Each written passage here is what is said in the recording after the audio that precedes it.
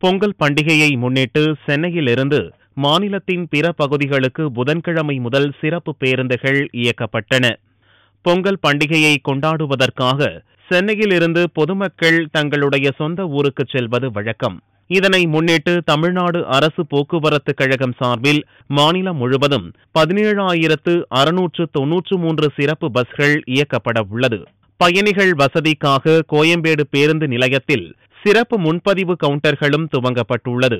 இந்நிலையில் பதினொன்றாம் தேதியான புதன்கிழமை முதல் பன்னிரண்டு பதிமூன்று ஆகிய மூன்று நாட்களுக்கும் வெளியூர் செல்லும் நீண்ட தூர பேருந்துகள் அண்ணாநகர் மேற்கு தாம்பரம் சானட்டோரியம் பூவிருந்தவல்லி அடையாறு பேருந்து நிலையம் கோயம்பேடு ஆகிய ஐந்து இடங்களில் பேருந்துகள் இயக்கப்படுகிறது. இந்த சிறப்பு பேருந்துகளின் சேவை புதன்கிழமை முதல் துவக்கப்பட்டது.